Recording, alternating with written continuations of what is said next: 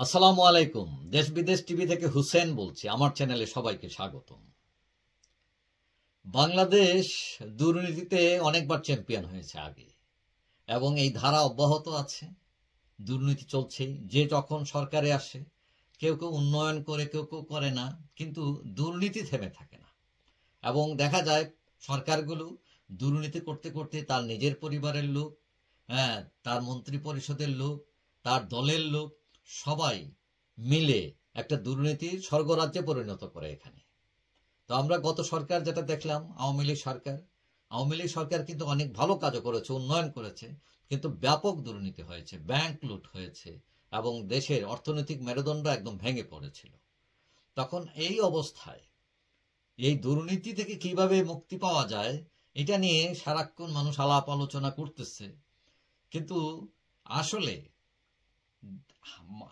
এই যে সতেরো কোটি মানুষের দেশে দুই হাজার চল্লিশ জন মানুষকে যদি দুর্নীতি থেকে মুক্ত করা যায়, তাহলে দেশের ফিফটি পার্সেন্ট দুর্নীতি কমে যাবে, এটা গ্যারান্টেড তো এখন আপনি বলতে পারেন, দুই হাজার চল্লিশ জন মাত্র মানুষকে ঠিক করলে দেশ অর্ধেক ঠিক হয়ে যাবে কীভাবে? হ্যাঁ এটা কারা? কারণ এদের এতই পাওয়ার হ্যাঁ এদের হাতে এতই ক্ষমতা যে চাইলে তারা যদি ঠিক হয়ে যান, সৎ হয়ে যান, আদর্শবান হয়ে যান, দৃঢ় মনোচেতা হন, তাহলে এই যে দুর্নীতি এত স্প্রেড করতে পারবে না। কারণ তাদের হাতেই তো এই দুর্নীতির যে চাবি তার কাছে। তিনি যদি চাবিটা নিজের কাছে ঢুকায় রাখেন যে না কেউ নিতে পারবে না, কপাট খুলতে পারবে না দুর্নীতির, তাহলে দুর্নীতি কিন্তু ফিফটি পার্সেন্ট কমে যাবে। এখন এই দুই হাজার চল্লিশ জন কারা? আমি একটা হিসাব দিই। যেমন প্রেসিডেন্ট। প্রেসিডেন্টের যদিও একদম ক্ষমতা নাই, কিন্তু তারপরেও যে ক্ষমতা আছে, এটা আমি আপনার মা লক্ষ মানুষের চেয়েও বেশি। তারপর প্রধানমন্ত্রী, তার তো ক্ষমতার কোনো শেষ নাই। তাহলে হয়তো কয়জন পাইলেন? দুইজন, প্রেসিডেন্ট, প্রধানমন্ত্রী। আমাদের দেশে যে মন্ত্রী, যে আগের যে মন্ত্রিসভা ছিল, ধরেন সেই হিসাবে যদি হিসাব করি, তাহলে আটচল্লিশ জন মন্ত্রী। এখন আটচল্লিশ মন্ত্রী যদি ভালো হয়ে যান, একদম রাতারাতি কিন্তু পাল্টে যাবে দেশের অবস্থা। তারপরে সচিব, চৌষট্টি জন সচিব আছেন, তারা ভালো হন। স্পিকার আছেন একজন, তিনি যদি ভালো হন, প্রধান বিচারপতি, তিনি একজন। তারপর সিটি মেয়র, বারো জন সিটি মেয়র আছেন দেশে, তারা যদি সৎ হন, তারপর সংসদ সদস্য সাড়ে তিনশো তিনশো পঞ্চাশ জন সংসদ সদস্য, নারী কৌটা মিলে। এরা যদি সৎ হন, তারপর জেলা জজ আছেন চৌষট্টি জন। এই জেলার জজেরা যদি সৎ হন, আদর্শবান হন, দুর্নীতিমুক্ত হন, তারপরে আরও আছে, সেটা হলো জেলা প্রশাসক। চৌষট্টিতে জেলায় চৌষট্টি জন জেলা প্রশাসক। এরা এক একজন জমিদারের মতো। এদের এত ক্ষমতায় যে মোটামুটি তারা এক এক জেলায় এক একজন জমিদার। এখন এরা যদি সৎ হন, তাদের আন্ডারে অসৎ লোক খুব একটা পার পাইতে পারবে না।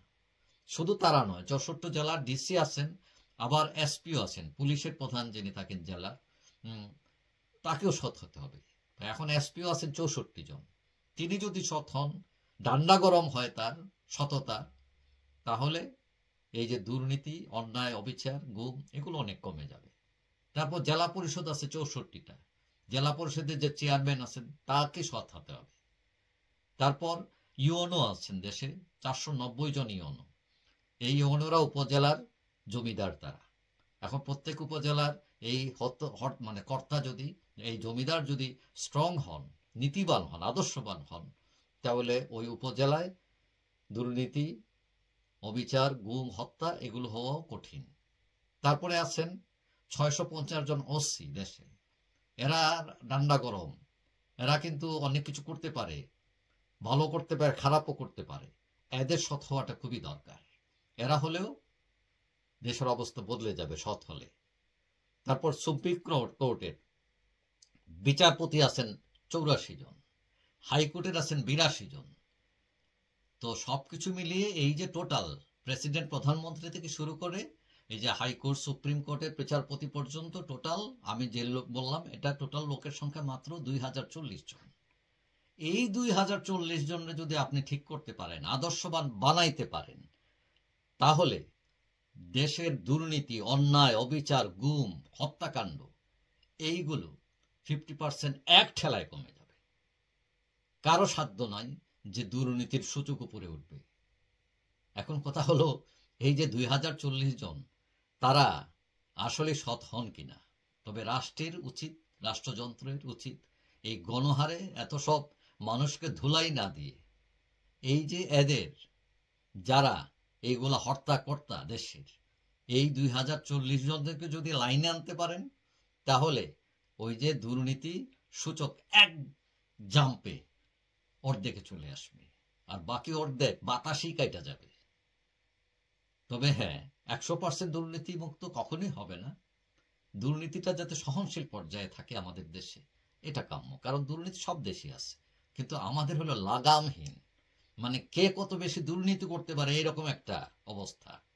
সো এখন সময় এই সরকার, বিশেষ করে এটা অরাজনৈতিক সরকার, এই সরকার যাতে এরকম কোনো মন্ত্র বা এমন একটা চাবি দেয় যাতে এই দুই হাজার চল্লিশ জন সৎ হতে বাধ্য। তাদেরকে এরকম প্রেশার দেওয়া হয়, এরকম একটা আইনের মধ্যে আনা যায় যে তারা সৎ হবেন। এবং দয়া করে যদি তারা এই দুই হাজার চল্লিশ মানুষ, দুই হাজার চল্লিশ জন মানুষ যদি আমাদের প্রতি করুণা করে হলো, এই দেশের প্রতি মায়া করে হলো, তারা যদি ভালো হয়ে যান, তাহলে দেশ ঠিক হওয়া এটা নিমিষের ব্যাপার। যাই হোক, সবাই ভালো থাকবেন। আশা করে দেখা হবে অন্য কোনো ভিডিওতে ইনশাল্লাহ আল্লাহ হাফিজ।